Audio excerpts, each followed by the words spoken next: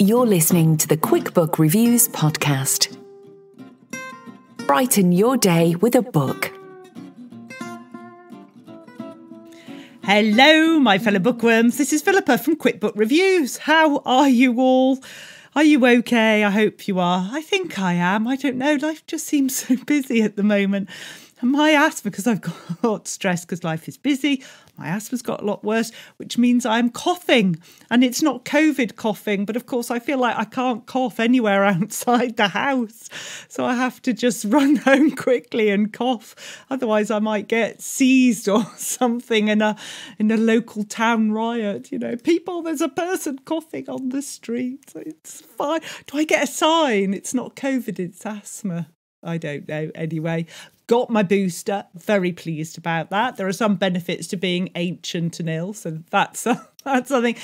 But no sticker. There are other people that I've seen getting their boosters in certain parts of the UK who have had a, a like a booster sticker and they did not do them. I mean, you know, obviously I would rather that the NHS spend money on the actual vaccines and stuff than a sticker. But if there was one going round, then I'd be very keen to have one. But uh, no, no sticker. So so there we go.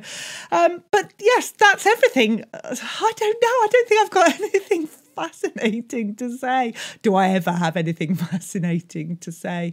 Is the question. I'm just trying to think what sort of stuff have I been eating lately? Just the usual. I find I'm eating the same thing every day. I have the same thing every day for breakfast. I have the same thing every day for lunch uh, what is going on? Anyway, enough, enough about that. Let's talk books because that is so much more interesting. Anyway, so, the first book is called, now, are you ready for this? Anxiety is Your Superpower by Dr. Wendy Suzuki. And I have been waiting literally years for this book to come out. The next one is called Safe at Home by Lauren North. Uh, I got sent this one in September. It came out the end of September. And to my shame, I've only just read it but boy, have I got something to say about this book. Um, you do want to listen to, the, to that. Next, we've got A Scandal in Bohemia. Um, it's a Sherlock Holmes story, but while it is, of course, by Sir Arthur, Arthur Conan Doyle, it's also by Peter Kopl um, because it's a graphic novel and a good one. Then I'm reviewing Hamnet by Maggie O'Farrell got things to say about that as well. And finally, I'm reviewing A Village Murder by Frances Evesham. Now, I listened to this as an audiobook on Audible. It's one of the books that you get free with your membership. And I thought, well, why not? Lucky enough to get it free. Let's have a listen. And listen, I did. So, quite a selection, I think you could say. And let's get started. So, anxiety is your superpower. I get this magazine called uh, The Bookseller. Normally it's weekly. I'm very sad if it if it they miss a week, but anyway, it's usually weekly. And they talk about books that are coming up maybe in three months' time, maybe six months' time, maybe even a year ahead. And I first heard about this book literally a few years ago. I think I've already said literally once already on this podcast, so that's where we are today. But anyway, it, they've been talking about this for a long time, and I'd kept pre-order I pre-ordered it but then I kept getting these emails saying oh it's not going to be available for a while. It's not going to be available. And the date kept going back and back and then suddenly it was here. And I just thought oh my goodness. So th- this is for me it's such a different book. It's well okay let's read the blurb. Philippa let's be organized. So anxiety is your superpower. Using anxiety to feel better think better and do better let me read you the blurb. We live in an age of anxiety. Like an omnipresent yet invisible odour you've grown used to, anxiety has become a constant condition and a distraction that undermines our quality of life. Yes, anxiety is unpleasant, it's meant to be, and in the debilitating extreme, what Wendy calls bad anxiety, it's destructive. But most of the anxiety that humans feel is essential not only to survival, but for higher brain functions formerly thought to be put on hold during anxious moments. Supported by her revolutionary research, Wendy will provide us with the neuroscience based hacks for harnessing anxiety and facing it head on. The first will help address and calm anxiety so that you can enjoy the productivity it can bring. And the second will enable readers to channel anxious feelings into six uses for good anxiety, from increased emotional intelligence and focus to creativity and confidence. So let us read the first sentence, as we all like to do. Now, do I do the introduction? Because often the introduction's part one. Yeah, uh, the, the, I'm not doing um, the first sentence of the introduction. I'm doing the first sentence of chapter one. What is anxiety?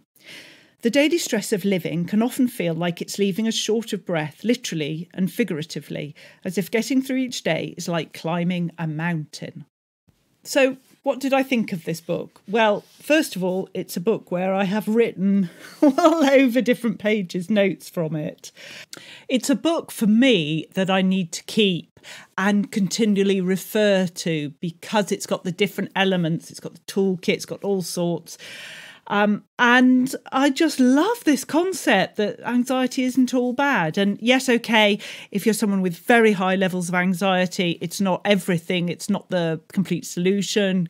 Um, get get uh, help from you know professionals, um, but it's still this book is just so unique, and I was just thrilled to be able to read it and thrilled to be able to talk to the author, Dr. Wendy Suzuki, right now.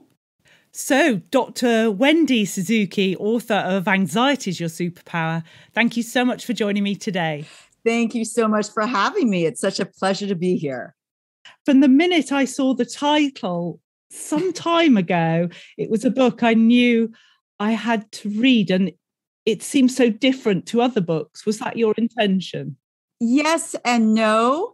I I um, initially got interested in anxiety even before the pandemic started because I noticed how my students at New York University their anxiety levels were really going up, and it wasn't just the students; it was my friends, my colleagues, myself. And so, as an academic, as a researcher, I got interested in that problem, and um, uh, I dove in from there, and it was what my my approach has always been. There's so many powerful things we can learn about neuroscience from neuroscience, learn from neuroscience about how to improve our lives.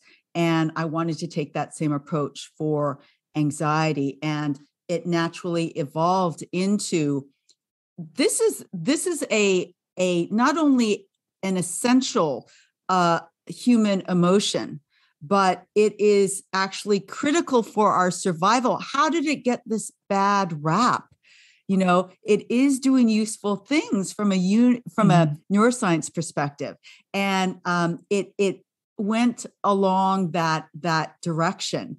Um, and it evolved into the book that it is. Uh, not that I was trying to, okay, I have to differentiate myself from all other anxiety books, it came out of my natural, you know, exploration. And then later, uh, people kept saying, "Wow, you you know, you're the only one that says anxiety can be anything but bad." So I was like, "Oh, great. Okay, I'm glad. I'm glad I could have that perspective."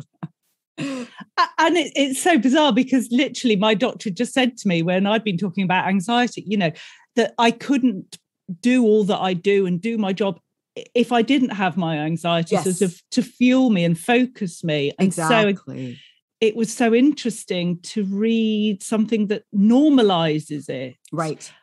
And helps you sort of focus that that power in a way. It is. And I think part of why this ended up that way is because, you know, you write about what you're most familiar with. I write about myself. And and one of the things that differentiates this book is many other books about anxiety are about clinical levels of anxiety that are dis- uh, debilitating yes and and this is not very clearly not about clinical anxiety. It's yes. about um, the lower levels of anxiety, what I call everyday anxiety, that essentially all of us have right now at a heightened level. And uh, I wanted to write about it because that's what I know best. I have plenty of everyday anxiety, and um, I know the neuroscience based approaches that I use to address it. And that's where I dove in. What, what else can we use? What haven't I considered before? Um, and it eventually uh, uh, evolved into superpowers gifts. Uh, it didn't quite start out that way. Uh, it, it, it was always going to be a, a more positive take on anxiety, but um, you know it became a, a superpower. Um, if you want to point to a chapter, uh, read chapter four and you will learn why uh, the, uh, it, uh, the anxiety became a superpower. It was a, uh, you know, it was a tragic event that I I experienced during the writing of this book. I was focused on anxiety, trying to think think it through how anxiety could be good, and um, I had uh, the terrible loss of both my father and my younger brother in a three month period and I had to stop writing the book. I, I, I was grieving. It mm. was, it was, um, you know, I, I, felt like I was getting this master class in the most difficult emotions that humans go through, and not uncommon. Uh, most of us will go through these emotions. I went through it in the middle of writing this book, and I came out realizing how powerful and how informative these uncomfortable and difficult emotions are. This wasn't the emotion of anxiety, it was the emotion of deep, deep grief. And mm. um, I, I really thought if I can learn from grief and learn to appreciate everything that I have in my own life and, and everybody that's still here, what can I pull out of the emotion of anxiety? That has fear and worry and anger associated with it. And that's how i ended up approaching this book in a in a in a unique way because of that mm-hmm. experience. And the book is dedicated to my father and my brother uh, because it wouldn't have been the same book if i hadn't gone through that experience. And uh, it, it, was very eloquently written and i'm just you know sorry that you had to go through that to create what is an even stronger book. It, it's uh, you know horrible that you had to go through that, but I'll, I'll just show you. People listening won't be able to see, but I, am afraid with with your book, I have uh, created. Let me just open the page. Oh. All my handwritten notes. Love that on all different pages. Where I was like, oh my goodness, I've got to write this down. I've got to write this down. So I'm sorry for writing over your oh, book. Oh no, no, I love it. I love it. Love seeing that. in doing my research, I was watching an interview with you in America, and they were saying how four out of 10 people felt anxiety during the pandemic. Now, I was actually surprised because I thought that's really low. I, would have thought during the pandemic it would be even higher. And, and I don't know how many people sort of accept the word anxiety and own it because the perception is that it's a negative. Right, absolutely. So, I mean, there are a lot of numbers out there. Um, the the um, the numbers for clinical levels of anxiety is that clinical diagnoses went up from about 18% of the population before the pandemic to about 30% of the population uh, yes. uh, during and after the pandemic and all groups were not represented equally. Young girls um, teenage girls high levels of uh, diagnosis of clinical levels of anxiety. Young millennials in their 20s also very high. Um, african americans also very high. So so this is um, this is an issue that unfortunately doesn't uh, affect people equally. Uh, and uh, I, I couldn't find any good stats about everyday anxiety. There wasn't a poll, you know. Um, but I have to assume that it's essentially all of us yes. that have everyday exactly. anxiety. So I'm going with that. I'm just going with that. Especially during a pandemic, you know, if there were, yes, if there were people that weren't anxious, well, uh, I, I, want what they're taking. I, I think. what what response have you had to the book so far? You know, I think it is, people are finding it refreshing, finding it hopeful mm-hmm. in in so much bad news that we hear every time we turn around. And this, the message, the true message of this book that I truly believe in is that you can use your anxiety as a superpower. You can harness that energy. And, um, you know, you have to do some steps. You have to turn it down. You have to use all the tools that I talk about to turn it down. But in the end, it is a protective mechanism. And one of the biggest tools is this tool of mindset that I talk about throughout the book that one can learn. If you have anxiety, it's a perfect opportunity to hone your skills of tuning up that ability to shift your mindset to help yourself uh, not just in this area of mental health, but in all areas of your life. And so it's, um, yes, it's an optimistic look, but it is a science based and it is um, a, a, true look. I, I, I, believe that everybody uh, can use these superpowers because I've used them. So it's not uh, it's not something that you know only uh, only for the elite. It's for mm. all of us that might have some everyday anxiety. And one of the things you talk about, and obviously I don't want to give the essence of the book away. People should buy it and, and read it. But a phrase you use that stood out to me is a tolerance of discomfort. Yeah, yeah. Um, and perhaps not overreacting. I mean, I'm I am head of overreacting, I have to say. So um, I, I, was very interested in that, and and that is one of the tools to yes to manage things. Is is yeah, that right? It is, and you know, this gets to one of the things that I was most surprised at when I, um, in the process of writing the book, because I found myself um, first realizing that I was and continue to be an anxiety denier denier i'm like yeah i have a little bit of anxiety but you know let's let's dive into it for everybody else that has anxiety out there. And then as i was going it's like oh my god i have so much anxiety i didn't even realize. So yes i am truly an anxiety denier. But the thing that surprised me even more is in the process of writing the book and developing all these tools i found myself making friends with my own anxiety. Because if anxiety and these uncomfortable emotions are truly protective, then you should be grateful. You should be, ah, mm. you know, you're warning me about something. What are you warning me about? And that's what I truly found myself doing.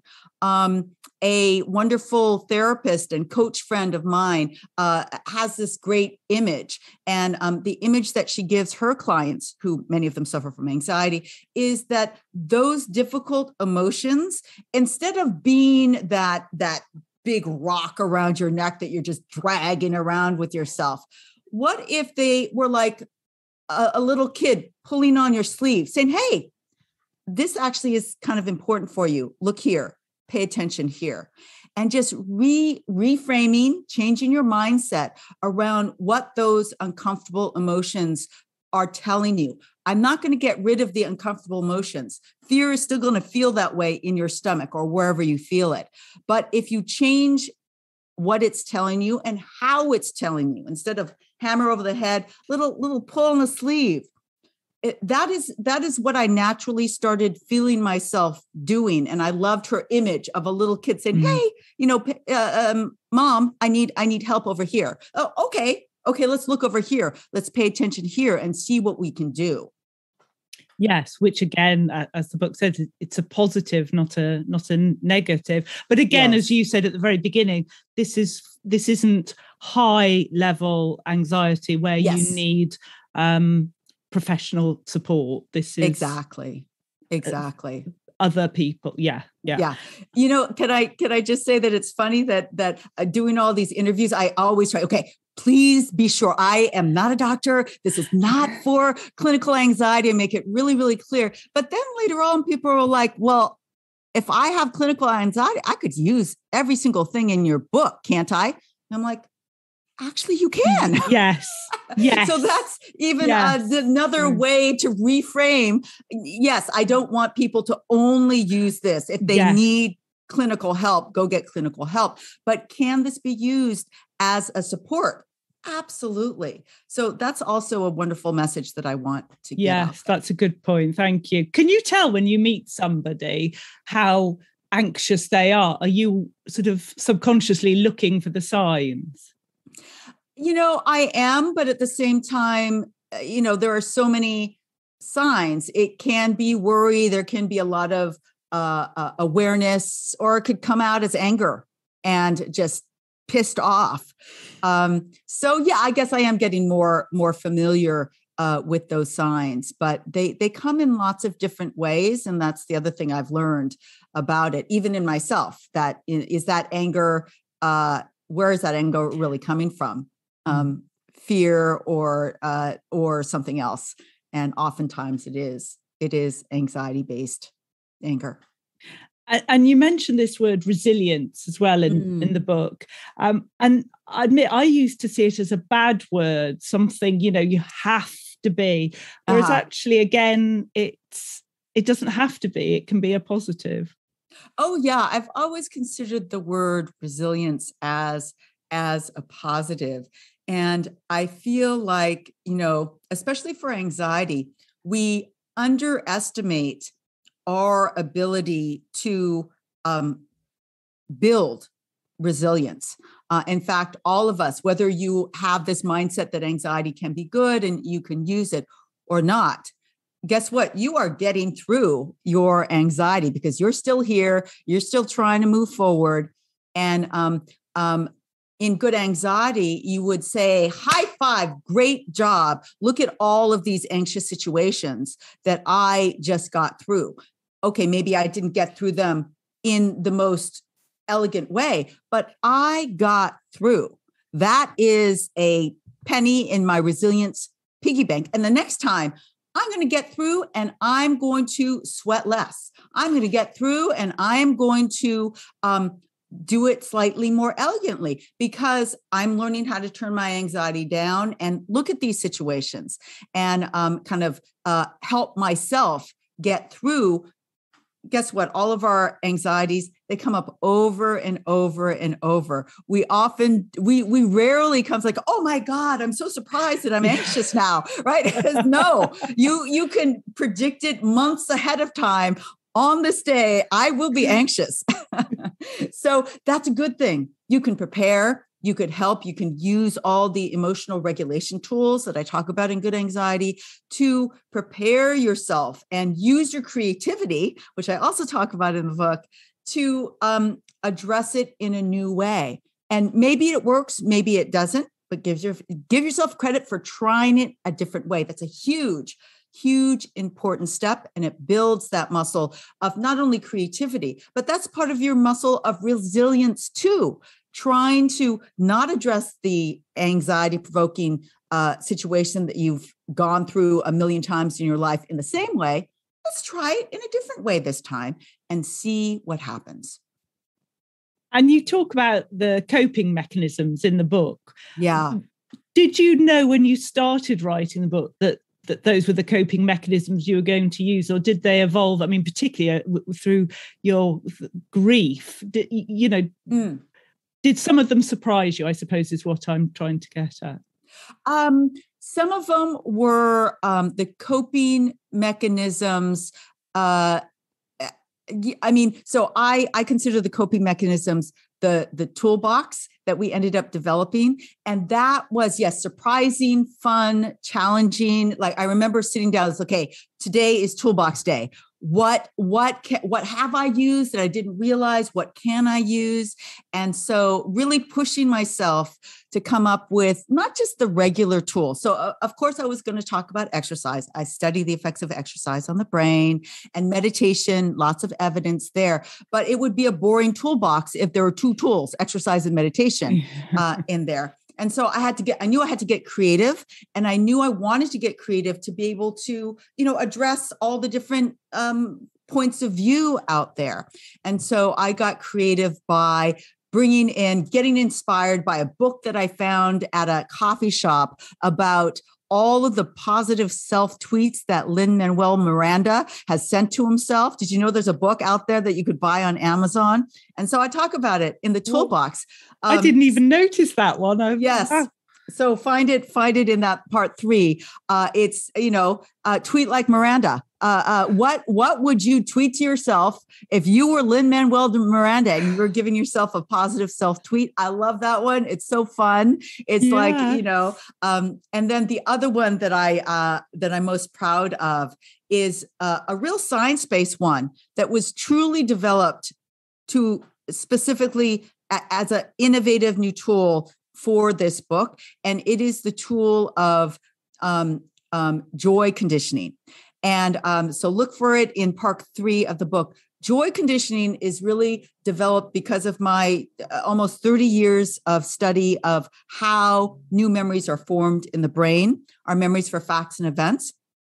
And uh, it's also, it was also developed as a direct counter to fear conditioning that we all experience all the time automatically. Fear conditioning is so you know when i lived in washington d.c my my apartment was broken into and fear conditioning is that fear that every time after that uh, that happened every time i was going around the corner to see my door i would get the image of what the door looked like when it was crowbarred open.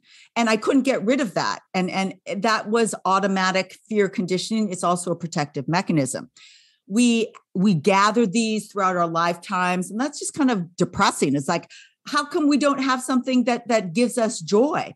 Well we do and so i came up with joy conditioning. It doesn't happen automatically but this is what you can do the the idea is to go through your memory banks your personal memory banks and think about the most joyful the most funny the most amazing experiences that you've had on vacation with your family with your friends and um, those memories were encoded, were strengthened by a structure called the hippocampus, including all those wonderful emotions that came with it. And we know that to strengthen that, the best way to do it is to revivify those memories, relive them. And I started to realize, oh my God, there's so many good memories that I have that I haven't thought about in years. Which one am I going to think about? Um, the other extra credit uh, trick for all you memory neuroscience nerds out there is that we know that olfactory um, memories are particularly evocative. So, you know, if you have a memory associated with the smell of an orange, that's particularly good. Uh, it's a wonderful thing to, you know, smell an orange to revivify that memory. You don't need the orange, you don't need olfactory uh, stimuli. Any wonderful memory would do. And all you have to do is rethink about that, re relive that memory. And so what you're going to be doing is re strengthening all of those wonderful, joyous emotions that you had. And that is something you can do for free. It's going to allow you to kind of travel back in time to the most joyous parts of your life. And that is my antidote to fear conditioning. And it it's it's brilliant and it sounds brilliant uh, yet we are conditioned well i certainly am when i've got something i'm anxious about to imagine the worst case scenario of what could possibly go wrong and then nothing that happens will be as bad as that. Yes. I i have done that as well and that is partially a protective mechanism. So if you imagine the very very worst then you're never going to be you know surprised in the bad way.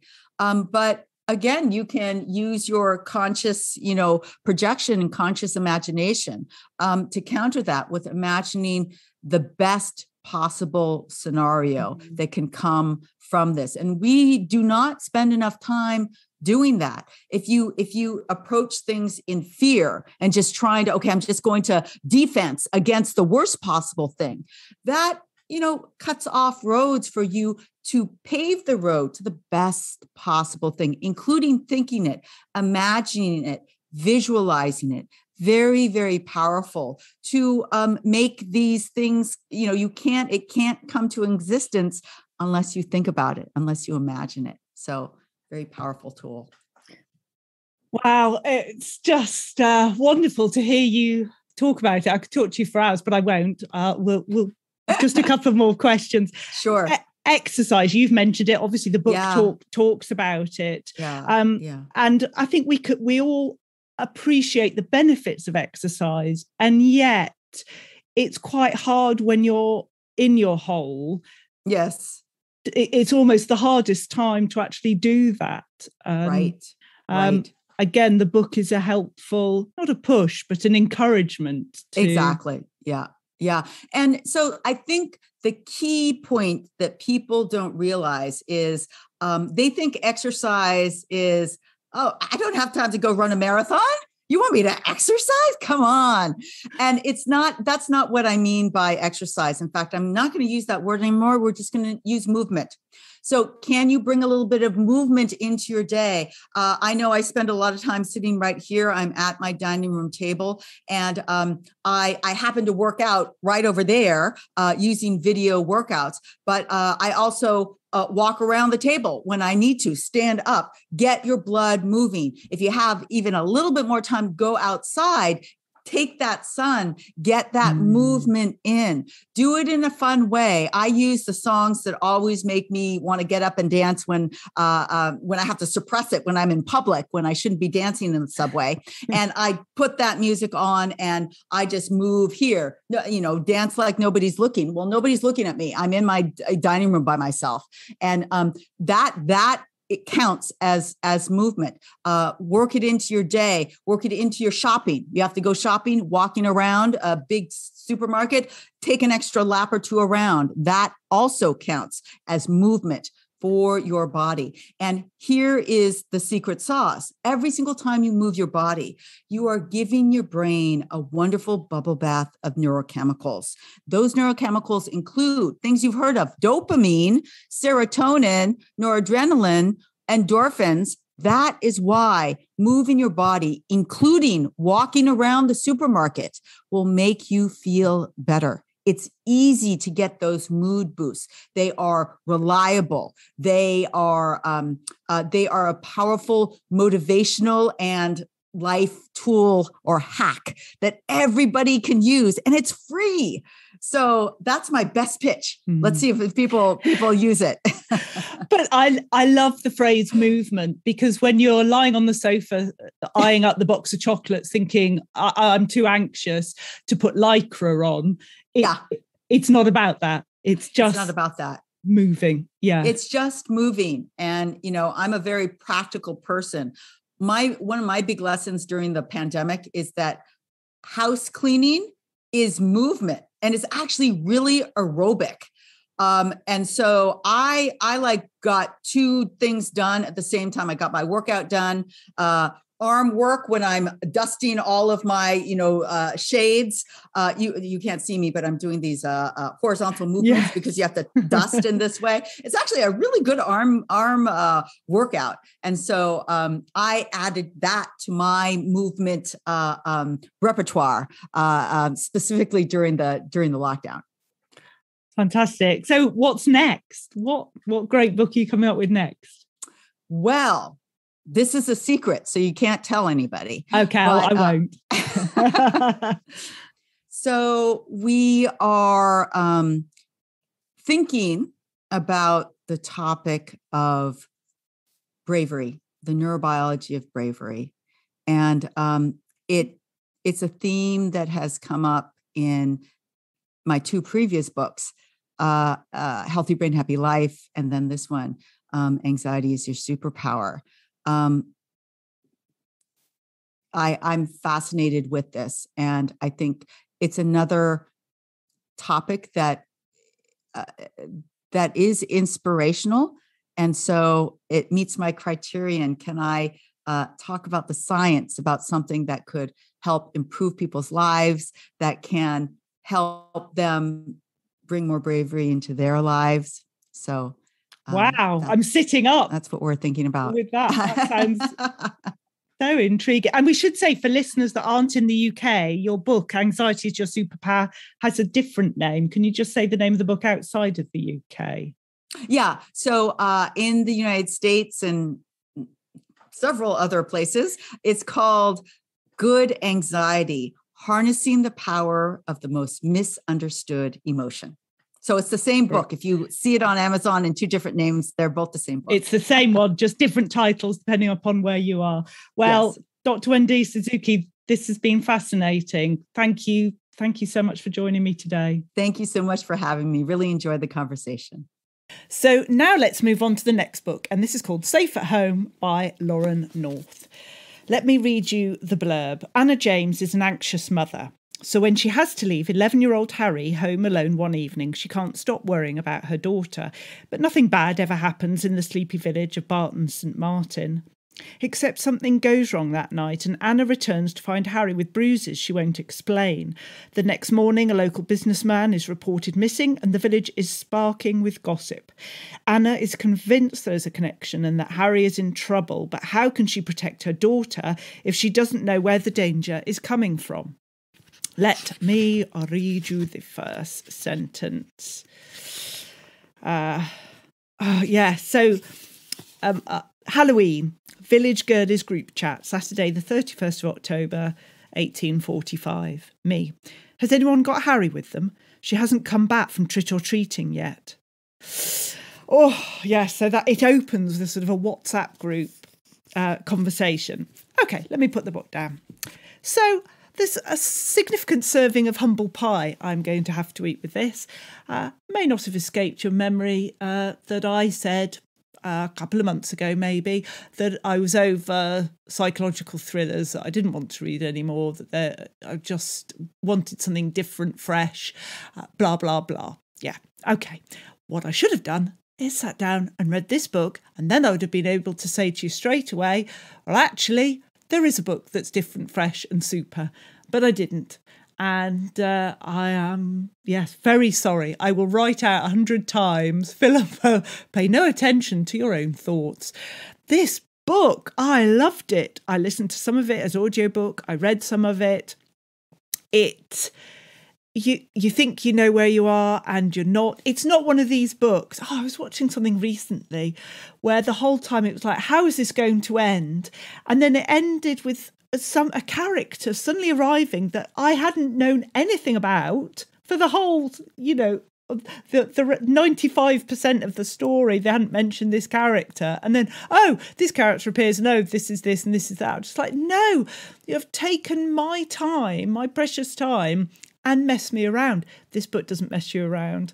Well, it messes with your head, but do you know what I mean? It's oh, it's just great, really good, tightly written, contemporary um, meaningful, gripping, fast read. I don't mean that in a bad way, just what's going to happen next? Um, believable. I like the use of these WhatsApp group conversations and then different things going on. There were interviews and all sorts. It just, oh, I was very concerned for Harry, and I'm not going to give anything away. Um, so as a as somebody who's immediately concerned about how things are going to end, you know, the book puts you on edge, but it puts you on edge in a safe way. You're not you're not reading therapy, needing therapy, I should say. Reading therapy? Dear oh dear. You're not needing therapy as you go alongside it. But of course, if you do, you can now read Anxiety is My Superpower, can you? There you go. Um, uh, Safe at Home, Lauren North, if you like a psychological thriller, if you don't like a psychological thriller, read this book. Very, very good. One of my books of the year. Lauren North, you are a very clever person to write this book and you're clearly you are just getting better and better i mean your other books were good were great but this is just like wow and i think it was claire saunders who messaged me saying have you read this book yet i thought it was brilliant thank you for for the push um, wow, great book. Uh, immediately one to, to talk to people about. Well, funny, I suppose I'm talking to you. Oh dear, deep breath. But uh, yeah, safe at home. Lauren North, girl, you can write. You really can.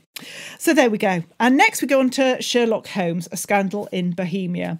Uh, let's read the blurb. Sherlock Holmes meets his femme fatale in one of his most famous adventures. The beautiful Irene Adler, perhaps the only woman in the world who can get one over on the greatest detective the world has ever seen, is once again on the side of crime, but maybe not everything is as it first appears. Uh, Peter Kopl masterfully weaves events that seem unrelated while simultaneously solving two cases.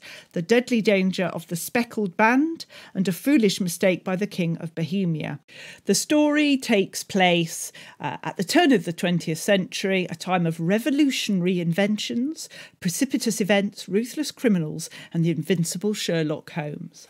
Um, how many pages is this? It seemed like, yeah, 150, 155.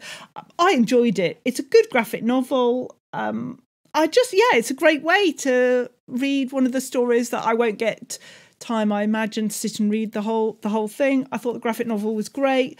Um, it had everything that I need. Would I read more in this series like this? Yes, I would. I mean, I'm skimming through my review, but I just thought it was really good. It's simple enough. Excellent. Uh, but now we come to one where, oh, I don't know. You're all going to shout at me with this.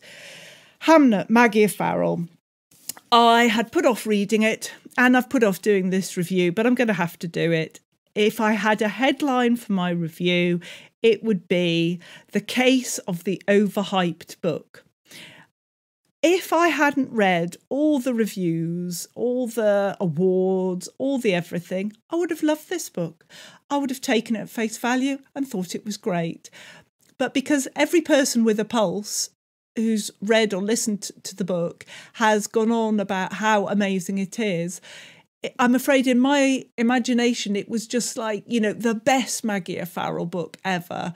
Um, I mean, I thought there's a disappearance of Esme Lennox. I prefer that one of Maggie O'Farrell. This one, I enjoyed it, but I didn't love it, and and I think it, the problem was that just I, I expected too much. You know, everyone's been saying, "Oh, the tears I've wept while I've read this book, and this book traumatized me so much." I kept waiting, thinking, "Come on, then, make me cry," and and it didn't, and I'm really sorry.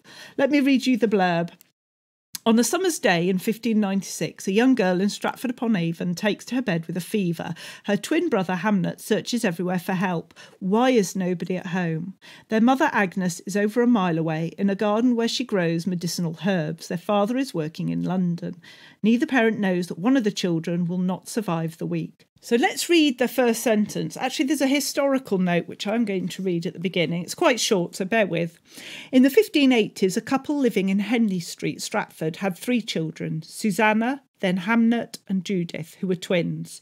The boy, Hamnet, died in 1596, aged 11. Four years or so later, the father wrote a play called Hamlet. Well, it does, that does give me all sort of chills then and, it also talks about how Hamnet and Hamlet is the same name, uh, particularly at that time. Right, first sentence, well, a couple of first sentences. A boy is coming down a flight of stairs. The passage is narrow and twists back on itself. He takes each step slowly, sliding himself along the wall, his boots meeting each tread with a thud. Now, I, I really enjoyed the book. I enjoyed the book because it was different because you know that this death is coming, um, but you don't know the circumstances. I like the fact that it involves Shakespeare and it made me learn more about him as a character. You learn things about him even when he's not being mentioned in the story, which was interesting in terms of sort of how he treated his family. Um, but I think because of all the reviews, my impression was that the second half of the book would be a big sort of ta da, and the tears would come then. There was a lot more sort of action, if you can call it that, a lot more change, dramatic change in the first half. And then the second half was just the, the, the knock on effect of grief, the follow on of that. And ah, oh, See, now I think about it, I think I enjoyed it more than I did. But that just comes down to expectation. Right. So just assume that this is a good book, a decent book, and you will love it. You will love it so much you want to tell everyone about it. Have lower expectations than I had, and you will love it. That's terrible, but that that's that's my honest review. I'm afraid. So there we go. Uh, let's put that one down, and then finally we come to a village murder by Frances Evesham as I said earlier, this is an audiobook. I got it free on Audible. I just thought, right, there's all these free books that you can now get. Sorry for the paper noise. I've got this new microphone and I'm not sure if it's working very well. It picks up all the paper noise. There, I'll put the paper down so you can't hear it. Um, yeah, I just thought you can get all these free audiobooks if you're a member of Audible. So why aren't I making more use of them? Um, it's a shorter audiobook. I think it's about five hours. Here's the blurb. An English village can be deadly when your past catches up with you. In the beautiful rural Somerset village of Lower Hembrow, crammed full with English eccentrics, something is amiss. Landscape gardener Imogen Bishop has spent the last 30 years trying to forget one fateful school night. But when her estranged husband, Greg Bishop, is found dead in the grounds of her father's Georgian hotel, danger threatens to overwhelm her. Retired police officer Adam Hennessy, hoping for a peaceful life, running his traditional Somerset country pub, finds himself drawn into the unfolding drama in the hotel across the road. Imogen, Adam, and Harley the stray dog form an unlikely partnership as they try to untangle a knot of secrets, solve a murder mystery, and bring a killer to justice. Okay, chapter one The Plough. Adam Hennessy rose early. He had beer taps to polish, a bar to wipe clean, and optics to fill. He yawned. He needed to find another barman fast. The Plough had heaved with thirsty locals last night, and he'd been run off his feet. I thought it was a, you know, it's a free book. Someone has spent so much of their time writing this, and it's for free. I thought it was well narrated, well written. Um, I probably listen to more of Frances Evesham's audiobooks as well. I certainly would enjoy them as an as an audiobook. It, it's not when I say oh it's a cozy crime that makes it sound like it really is cozy and it's not. Um, but it is that sort of sort of cozy village crime if that makes sense. Um, so yes, if that's the sort of thing that you're into, I, yeah, I commend having having a listen or or having a read. You can get it on um, printed book, ebook, all all sorts. It's uh, yes, a, a short, a short, pleasant stray into village crime. So there we go. I think I've covered everything today. I've got to grab the books again. I'm sorry for the noise, but if I stop recording, who knows what's going to happen? I need to just keep the pace and momentum going so that this is done. So, the first book, Wow, Anxiety is Your Superpower by Dr. Wendy Suzuki, Dr. Wendy Suzuki, no less. Great book. Then we had Safe at Home by Laura North. Ooh, good book. Uh, then we had uh, Sir Arthur Conan Doyle and Peter Kopl's book Sherlock Holmes: A Scandal in Bohemia. That's a graphic novel. Enjoyed that. Then Hamnet by Maggie O'Farrell. I did enjoy it. Well, if you can say enjoy for a book that's about grief, it was a good book. It was just the reviews had hyped it a little bit too much for me. And finally, the audiobook, A Village Murder by Frances Evesham. Well, I need to go because I've got books to read, things to do. I've got a really good author to talk to you about next week, really good books, just lots, lots, lots, lots. And we are approaching the month of December, which is very exciting. Um, so look after yourselves, take care, and I'll speak to you very soon. Take care now. Bye bye. You've been listening to the Quick Book Reviews podcast. That's enough books, said no one, ever. See you again soon.